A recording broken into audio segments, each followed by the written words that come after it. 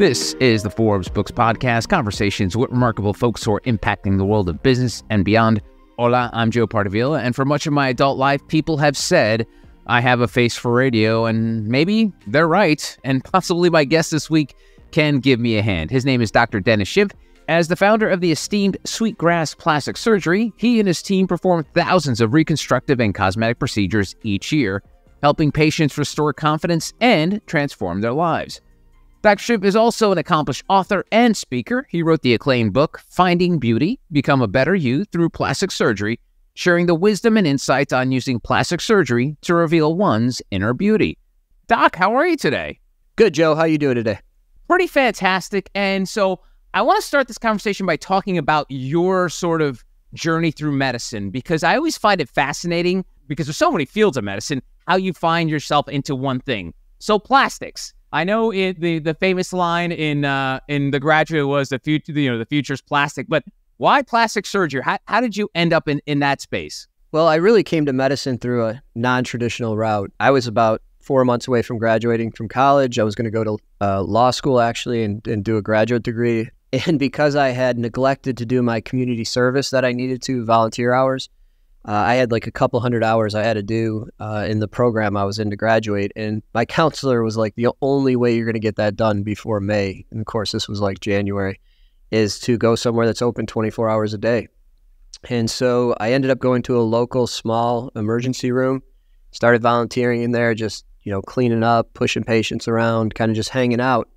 And I loved it you know, I, I, absolutely loved it, and I did, you know, that for those couple months. And at the end of it, I I just decided I, I was going to try to go to medical school, and I I had never gone and done any of the sciences, so I had to spend the next year and a half taking one semester. I remember I took uh, chemistry, anatomy, physics, and something else, and it was just you know hard, but I did the best I'd ever done in school, and so. Uh, you know, I spent that year and a half and ended up doing a little bit of graduate work in neuroscience while I was doing it, and uh, ended up in medical school. And then I knew I wanted to do something like hands on, and uh, surgery was just something I always was kind of fascinated with. Uh, originally, I thought I was going to do neurosurgery, but um, ended up going the general surgery route. And at the end of general surgery, you either go practice general or you specialize. And I loved plastic surgery because it was the the one specialty that you still operated on the whole body and uh, wasn't really tied to one area. So you know, plastic surgery includes cancer reconstruction, uh, you know, surgery on children, cleft lip and palates, burns, uh, microsurgery, and then of course the thing everyone knows is aesthetics and cosmetic. But it's really a small part of the overall training. I did five years of general surgery, then two years of plastic surgery fellowship, and uh, been in practice now. I don't know about 15 years or so. There's not many doctors I speak to who who say they became doctors because they partied too much in college. Was that essentially why you were just you were having such a good time that you forgot about all the other things you needed to do? Is it? Is, it, I mean, was that? I mean, it's like the sliding doors thing. Like if you concentrated in school, Dennis, who knows what you would have done? Joe, I'm not sure that's exactly what I said, but that may have been the message. Uh, you know, I, I went to school on an athletic scholarship. I, I, definitely was not uh, school focused the whole time, and uh, I was very fortunate to to go the path that I went, and uh, actually went back to school you know, after graduating to do a graduate or an MBA degree. So I, I, got better with schooling as I went along. I, I, realized the importance of it more as time went on. That's good.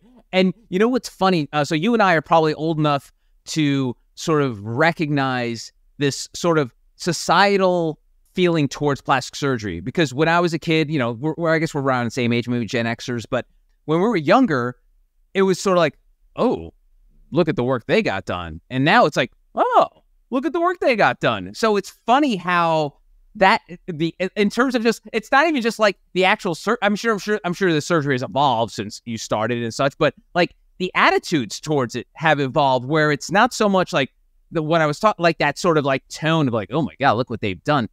Did you when did you start to realize that this was sort of becoming more and more acceptable and not just being like a rich person thing to do? Right. I think a couple things have happened. You know, not only that, um, I think the patients themselves have become more comfortable with it and more almost proud of having some of it done. And I think the effect it's having on them, feeling more confident, they're wearing, you know, different clothing, different bathing suits. So I, I think that progression has come with social media and the media in general. I think, uh, you know, I hate to say it, but things like the Kardashians have brought to the forefront different types of cosmetic surgery. I think Hollywood and that whole world has probably evolved from, like you said, it was hush hush and nobody wanted you to know to it's okay and it's okay to do something. And I always find it interesting because almost in every other facet of our life, we'll try to do things to better our situation. You know, you go out and try to get nice clothes, you try to get a nice haircut. Women try to get nice makeup. They're getting their hair done, their nails done out in the open without a problem. You know, nobody goes into the store and says, "Give me the ugliest clothes that you have, and I want to look bad." Uh, to the, even the house, you know, that you live in, you decorate it to look nice. You buy a car that you like. I just, it's kind of weird that then with the most personal thing, where we had to be shy about it or not seem like it mattered. And I think not only does it matter, it matters to men just as much as women, if not more. And I think it's becoming more acceptable, maybe because people are more knowledgeable through social media. Uh, not all that knowledge is accurate, but I think people are more aware of what's out there, what can be done, and the effects it can have. And everyone has something that that they don't like about themselves, and nobody else can tell you it's not real or it's not reasonable. If it bothers you and it's something that safely and easily can be fixed and it changes your quality of life, I think you you really have to consider it. And one of the things you mentioned media, and I think again going back to our early days, the idea of plastic surgery was sort of sensationalized by the Michael Jacksons of the world, and even in New York, gr- growing up was. Uh, I'm sure you remember the story of Jocelyn Windle, w- Whittlestein, the the cat lady, because she ended up looking like a cat. Uh, so and now when you see plastic surgery, it's like, damn, who who they who who who they use for that? So there has been I don't know if like PR you know you you your your industry got a better PR representation or things have improved, but I feel like nowadays we're not seeing those sort of you know plastic surgery nightmares that were so prevalent in like the early 80s and 90s. Yeah, I, I think actually what's probably happening is we're getting a better representation of all of the plastic surgery because people can, with a phone, post things that uh, they're experiencing, which are more normal. Uh, if you go back in time, the only things that were out there hitting the media were just sensationalized things that were attention grabbing in the media. You know, 99.9% of our patients don't want to look overdone or like they had something done. Now that's different on you know the West Coast and some New York and Miami and some of these areas. It's it's a status symbol for some of these folks. So they do go over the top and, and get overdone uh, because probably their perception is a little off uh, compared to the average person. But also, it's a status symbol. You know, if you can afford to spend tens of thousands of dollars, and people kind of want, certain people anyway, want everyone to know they did that. The biggest concern we hear from folks is I don't want to look overdone. I don't want to look like Kenny Rogers or people like that. And, uh, you know, really, it's not the rich that that really supports our industry overall. There's just honestly not enough rich people to do that. It's the uh, you know, it's the the hardworking double income families where you know the wife has had kids and her goal is not to be on the cover of Cosmo. Her goal is to get back to how she was in her 20s or 30s or at least pre-children as close as she can. You know, their their expectations and goals are to to fit better in a dress and bathing suit and to, you know, feel more comfortable about themselves. And so I think those are really the ideal patients that we look for and, and the ones that are truly the most sort of satisfied in the end. And you talked about uh, the sort of cosmetic surgery industries in, in New York and Los Angeles and Miami. You practice in the low country of South Carolina, Charleston, Mount Pleasant area. Is there any different between like you and a doctor in New York or is it geography? I mean, are you doing anything differently? Are they doing anything differently than you're doing day to day? No, I would say there's a difference in the patient for sure, you know, in what their expectation and what their goals are for sure. The techniques that are being used, the surgeries that are being done are, are absolutely no different. And we have access to, you know, the latest and greatest as well as uh, stuff that's been proven through time. And I think a lot of it, like so much, you know, think like so many things, uh, is advertising, marketing, and what they're selling is a concept, not really a different procedure. And I think that's you hear that a lot, like with vodka, right? Like vodka, they say there's not much difference in the highest versus the lowest, but it, a lot of it is marketing what the bottle looks like, how you know. uh, like Nike and these these different companies, they sell it not a product, they sell an experience or a feeling, and I think that's an important part of plastic surgery. I think how it makes you feel is what's ultimately important. And uh, you know, there are a lot of folks that come in with a nose and say, "I can't live with this," and I look at it and I'm like, "I think your nose looks great." Like, but to them, they don't, and so you know, it's how they how they feel when they see themselves. And no one is there, you know, is a worse critic than yourself when you're you know, really evaluating yourself. And so I think our job is really to ride that line of what's reasonable, what's achievable, what's safe. There are people that we have to just say, I don't think we can make this better. And then you're going to have a scar and you're not going to be happy. And so I think that's uh, one of the things in residency and surgery residency, even general surgery before plastics, that's a big concept to learn when you're in training is it's easy to know who to operate on. It's really harder and more difficult to know who not to operate on and when not to operate. And one of the things you don't learn when you're in medical school is being an entrepreneur. This is something I've talked about to many doctors uh, who are like, when they're going to medical school, they're busy learning to be doctors. They're not busy learning how to run a practice or or be an entrepreneur. Uh, obviously, you went back and, and got more education. Talk to me about that in terms of plastics, because I feel like of all of the sort of verticals in medicine, I feel like plastics is probably the most entrepreneurial. And just from the surface for me, because I don't see a lot of advertisements for a general practitioner or an right. OBGYN, or but you do see that for cosmetic surgeons. I mean, maybe you can weigh it a little bit in, in terms of like what it's like to become a doctor without even learning to, the business side of things. I mean, obviously, like you said, you went back and did it, but talk to me about that sort of transition from being doctor entrepreneur. Yeah, it's a huge transition. And it's one, I think, it really goes back to the system that we're trained in and educated in. And, and those are usually academic centers. And so an academic center is not a well run business by any means. Its, its purpose is not for profit or to be efficient. It's usually to train, uh, you know, residents, medical students, nurses, and it's it's there to serve a purpose for the general community. A lot of times, folks who who can't afford healthcare.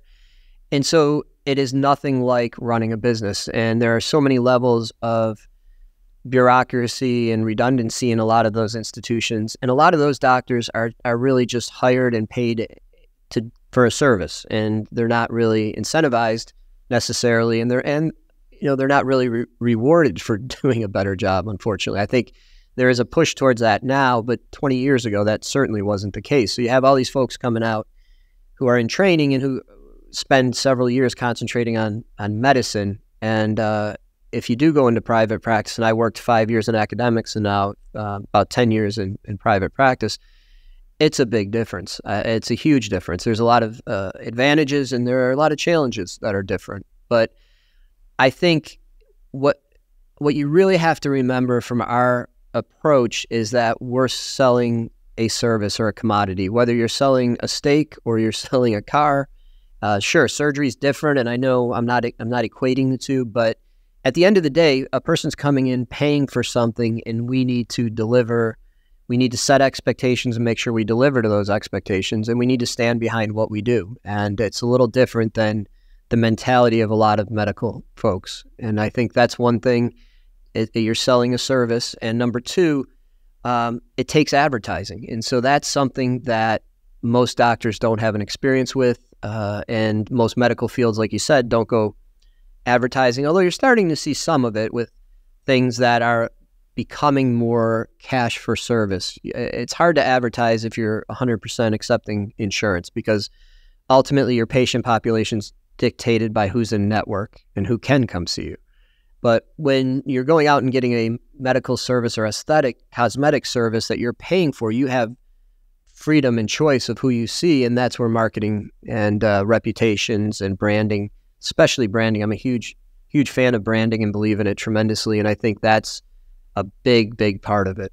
I want to get into your branding part, but one more thing on this, and I don't want to get too deep in the weeds of this, but talking about becoming a doctor slash entrepreneur getting into the weeds of like running an office, bookkeeping. Like, how did you learn all of that? Because again, they don't teach that at medical school. Like, how how did you go about doing that and making sure that you were running a tight ship and that you were surrounded by people who know what they were doing because I can imagine that can't always be the easiest thing to do as as a physician. Yeah, no, it's not. I think um, you try to surround yourself with the right people, and you never know, you know, whether or not that's the case ne- necessarily because you don't know better. And I think also if you're fortunate enough to grow, that that environment changes. And so there are some really good business books written about you know getting the right people in the right bus, but also in the right seat. so uh, a lot of times you can have the right people on the right bus, but if they're not in the right seat, then they're not effective. I, I think you, I think a couple things you know that I I learned is I think you want to have you know some really good legal representation advising you, uh, especially early on when you're building a business, so that you you put in all the requirements that you that you just wouldn't know about unless you had a good healthcare based uh, attorney. I think you need a really good accounting uh, company or service, and I think the biggest thing with doctors, and I think in general, we we think we can do everything ourselves because you know you're kind of going that route through training, and I think the best thing that a, a young doctor or surgeon can do for themselves is is realize their sort of limitations and that your time's spent much better doing what you've been trained to do. And you have to trust people. You have to outsource bookkeeping, accounting, uh, tax stuff, you know, all of those kind of things to be efficient. And if you want to grow, you have to have that ground level laid in the right way because it's hard to build on a foundation if it's not right. And it's a lot harder to go back and, and, and do that. So I think outsourcing and really getting, you know, the right people in the right place is a very important thing. And you know, with COVID and the things that have happened, I mean, there's been some struggles with with staffing offices and with getting the right employees. And as you know, the the employment environment has changed a lot uh, over the last couple years, especially. So, getting the right people in in the right place is very important. Uh, our front desk people are so crucial. They answer the phones. They're the first people to say hello to someone when they walk in.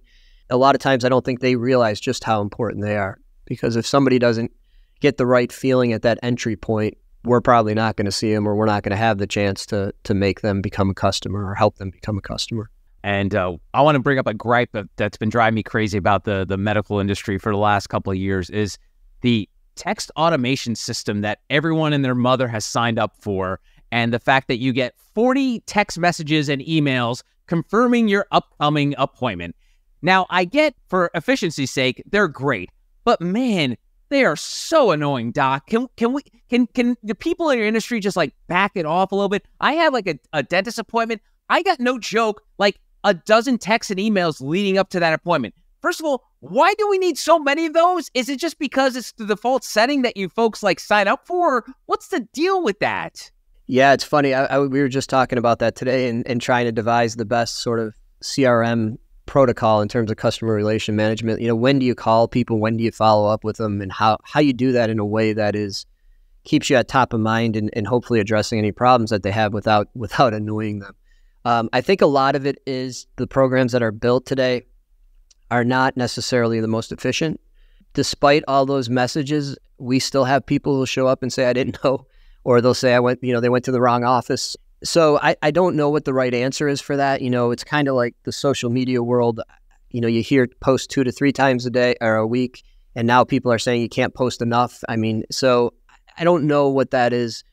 It, it's hard. I think we're trying to balance that with you know a touch point or two, and then you know at some point you got to leave them to their own devices and, and try not to upset them. So it's a hard one because you know we'll see I don't know, anywhere between 500 and maybe 700 patients in a week in our multiple offices.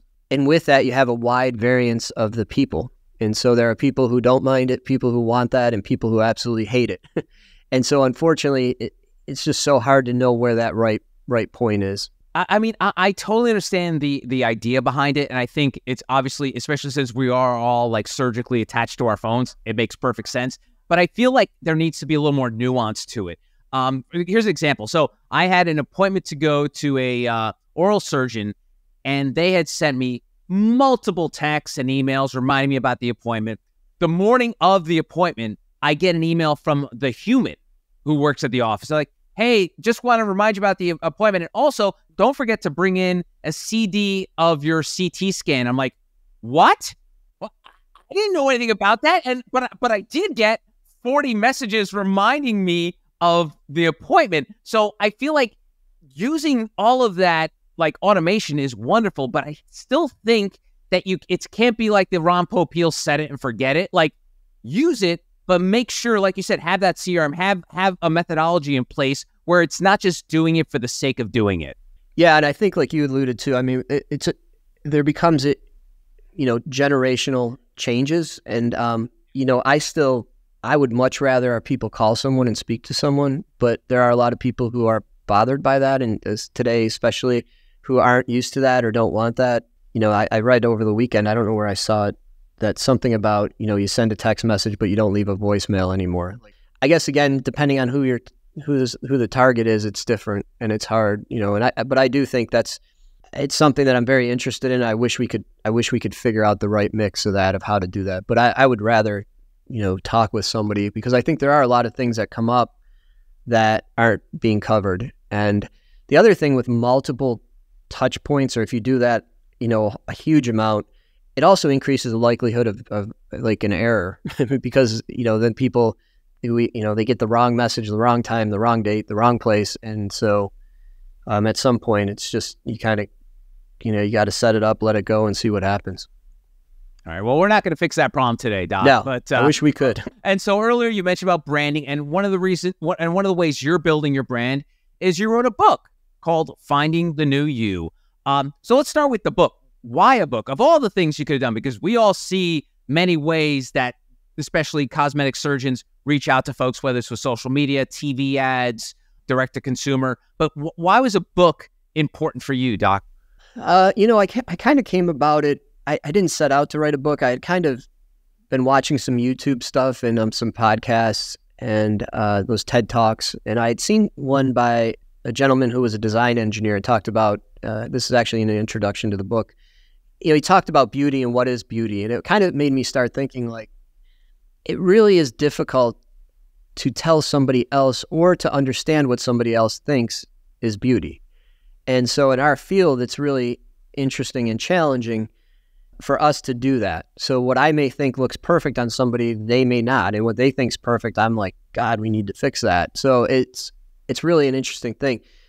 You know, I, I've always liked books. I was kind of as growing uh, as a kid growing up, and even today, I love sitting in bookstores and actually physically holding something, whether it's a magazine or a book, and looking at it. And I, I still can't get used to reading books on iPads and things like that. I just, it's just not. There's something about the experience. I also like the idea, and I didn't, I can't say I knew this at the time, but we've used the book as a tool with pre-ops. So when people come in to sign up for surgery, we've started giving them some of these books to take home and to read. And I think that's a huge thing for them to look at and to kind of build their expectations and also helps them get some of their questions answered, but also generate some questions for us. So it's kind of a tool that we let people take home with them. And so I think that's been extremely helpful. Uh, you know, today I know people do a lot more high tech things than, than write books, but we did do an audio version of it and uh, so I think that's definitely like like this podcast and audio has become you know obviously much bigger. So, but I just I kind of am the old you know thought where I, I enjoyed books. I always liked them. I still like stopping at bookstores. So the book is not a how-to plastic surgery book. So it's not like where no. you're you're teaching people. Uh, what what is the book like? How would you describe? Because I, uh, you know, flipping through it, I was like, it's like interesting concepts about what is beauty, about appearance, impact on it. So it's not the book you would immediately expect from from from a, a cosmetic surgeon. So why did you go this route in terms of like what you were trying to like parse out? What, what, what, kind of information were you hoping that people, you know, like a young Dr. Dennis Schimpf walking through a bookstore, coming across it, what, what were you what were you hoping people get out of it? So I can start by saying what I didn't want to do, and that's I didn't want to make it be you know a walking billboard or advertisement for me or for our practice. So I wanted to do something that was useful across a, a bigger sort of population. So I really wanted the book to help somebody who was considering plastic surgery with us or with with anyone anywhere else. And I wanted it to be a tool that they could use ahead of time and maybe use as they went through the process. So what we did was basically took concepts that we see on a regular basis from patients, whether it's, you know, post or pre-op questions or, you know, kind of getting their family on board uh, talking about the healing process after surgery, the long term process about things. So things that we saw on a regular basis. And I used a patient or two to write each chapter. So each chapter addressed one of these concepts that I thought was repetitive and important enough that somebody would benefit who was considering plastic surgery, who had had plastic surgery, whose family was having, you know, those types of things, that they would get something out of it, that it was an easy book to read, it was quick, and it hit some of the major concepts that, that come up in that process. And again, I wanted it to be for anyone, and I hope that's the, the case. You know, I hope somebody in Nebraska who's considering it reads it and gets something out of it. That's cool. And in the book, you also bust some myths. What are some of the myths of plastic surgery that top mind, maybe like you know how like the text messages from doctors annoy me? Like, what's one myth that annoys you the most about uh, plastic surgery? Well, I think the biggest thing that we deal with is, you know, we see somebody ahead of surgery, we talk about a plan, we go through a tremendous amount of information, and, you know, they'll show up at the first visit days later and complain about the outcome at that point, you know, and, and we literally will tell people this is a four month, eight month, year, scars take a year to a year and a half to get better. I don't know how to get that message through to people any better. And then I'll say, like, we talked about this, and they'll be like, oh, yeah, you know, I, I guess I remember. Or they'll tell me they didn't remember, which even amazes me more because they've read it, they've signed things, they've, I've told them. But, you know, I think, um, I think it gets back to the human concept and, and probably, you know, evolutionary folks say it's the only way humans get out of bed is that you sort of don't think it's going to happen to you. So the other thing is complications, right? Like every surgery known to mankind, every medical procedure, there is no zero complication rate and there's no 100% success rate. So I tell folks that all the time.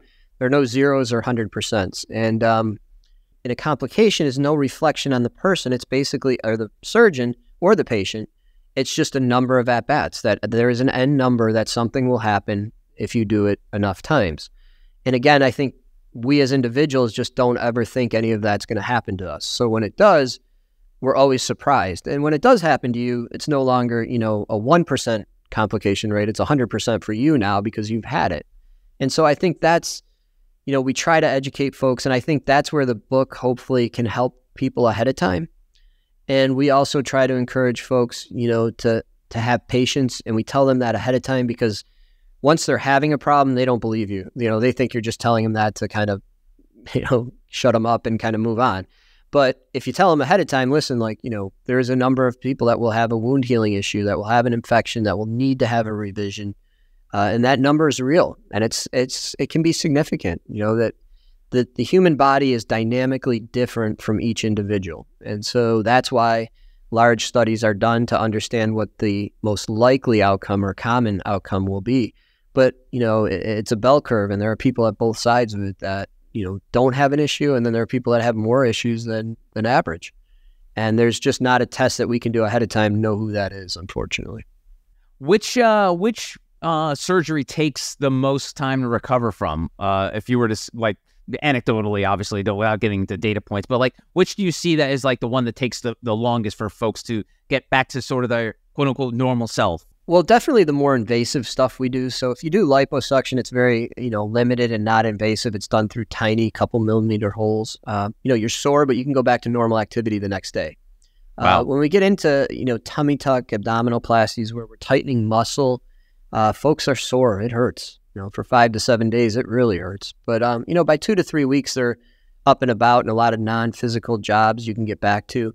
Uh, what we're talking about in the the several months is really swelling, residual swelling, and final outcome. So skin tightening, skin kind of adjustment, um, that takes months and months. And scarring, it can take a year, a year and a half, two years in certain skin. You know, folks that have lighter, especially folks who have light skin, light colored eyes, their skin tends to get really red and they can have scars for, you know, a long time. And it's, it's hard because the scars usually look really good initially. At three months, they look bad. They get worse up to about nine months and then you know they start to get better. And there's things that we do to try to help that but the, you know the american way is not patient you know to have patience for anything. So even though they hear us ahead of time and i say the same thing and that's what folks will say you didn't tell me that. I'm like no i told you that because i tell every single person the same thing.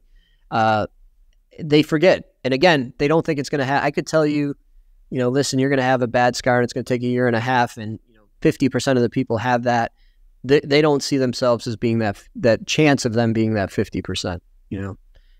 And I, it's kind of anecdotally too. I remember when I used to do trauma surgery, uh, you know, we'd have people come in like with ruptured aneurysms and stuff, and you literally tell these families and the patients it was sad that we'll try to operate, but your survival rate is 50%.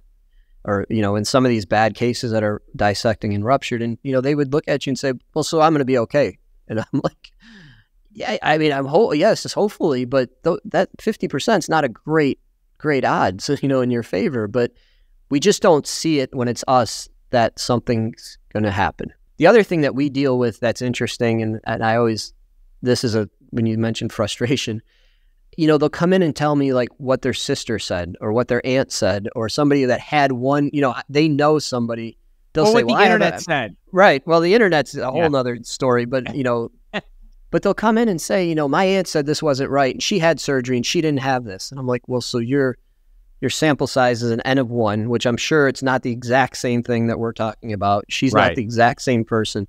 It's frustrating. Uh, we try to prevent that. I think patient preparation and sort of hopefully books and things like podcasts, you know, listening to the right sources will give you a more realistic expectation. You know, if you're going to somebody and they're telling you you're going to be great, you're going to get the best result, don't have anything to worry about, 100% going to be perfect, that's not good and, and not likely. All right, let's and let's end on a, on a bright note. So, you know, of the hundreds of people you see each week, you do some amazing surgery. You change people's lives literally. Um, do you recognize that? Are you aware, or are you just so busy of just like here's another one, here's another one, here's a, or or do you stop? Are you able to step back after like a, an amazing procedure, like, damn, I did a good job there. I mean, are you are you that self aware, or are you just so busy in what you do that you don't realize the impact you have on these folks?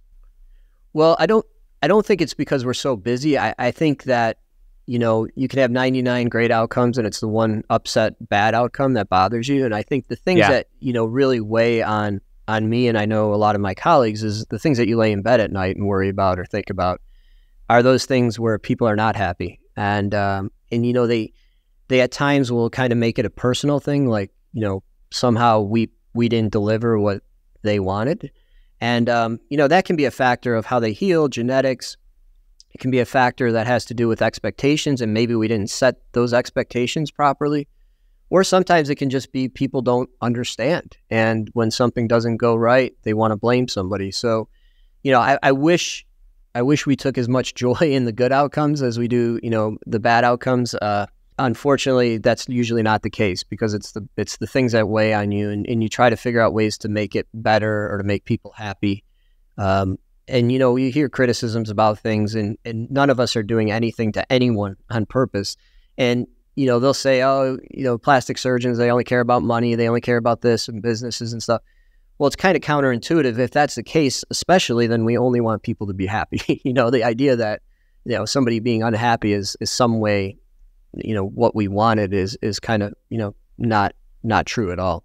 So those are the things that you worry about i think with time and, and hopefully you know experience and maturity you learn that there unfortunately you can't change that uh, with everyone and you try to look at the other you know for every person that's unhappy the dozens and dozens of people that are extremely but it's like anything you know you don't you don't hear from the people who necessarily are always ecstatic and happy and so we do appreciate when folks will say that or when you hear secondhand and you're like you know, I didn't know if that person was really happy, but to hear that is is really, um, you know, important. And I think, you know, for young doctors and surgeons, I think, you know, I had an athletic director in college who always said, you know, never too high, never too low. You're you're sort of as good as your last outing when I when I played college sports, and you know, I think that's, but it's a hard thing for people that are that are you know trying to do the best they can. It's you almost feel, you know, weak in saying, "Oh, I'm happy because they're happy." I, I'm more worried about the people that are unhappy.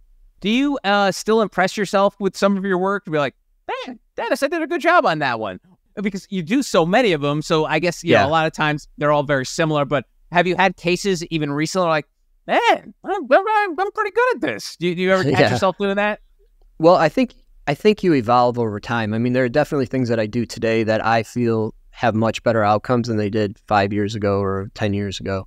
I think there is definitely a curve uh, with anything that you know you do get better, and and the only way you know how to get better is kind of uh, evaluating and seeing the outcome. So the thing with surgery is you can you can do a, a, good surgery and it looks good at the moment, but what it looks like three months, a year, year and a half later is really the final judgment of it, and and you can't get that without time. And um, I think that's you know you do learn over time. You learn not what or you learn what not to do as well. Um, there are a lot of things that you know I did because someone else told me or I watched somebody else do it and now reflecting back on that, I, I wouldn't do that today. So I think, you know, it's a fine line with anything. Experience is really important. And at some point, you know, you get better at stuff just by number of at bats, right? Like you do it and, and you see better outcomes because of it. But um, I think again, you know, you just it's funny, but each time you just want somebody to be happy and you want the outcome to be good. And so uh, when that happens, it's not that you're ecstatic; it's almost relief. so I think that's probably what keeps people, you know, motivated in, in doing it, and that's what I, I enjoy doing it. Uh, I I come to work to do procedures to try to make people happy, and I enjoy doing them. And uh, I do think with time they've gotten better, and hopefully, you know, with technology and continued experience, they only get better and better with time. Awesome. His name is Doc Dennis Schimpf. He is the author of Finding the New You. Doc, thanks so much for the time. I really appreciate it. Joe, thank you. It was great talking with you. And that'll do it for another episode of the Forbes Books Podcast. Don't forget to hit subscribe. That way you'll get new episodes as soon as they're available. And if you have a spare moment, I would greatly appreciate it if you could leave a review, which would help other exceptional entrepreneurs like you discover the show. You can always connect with me on X, LinkedIn, and Instagram at Joe Pardavila or TikTok at J. And please don't forget the golden rule and treat others as you want to be treated. Thanks for listening. Until next time, adios.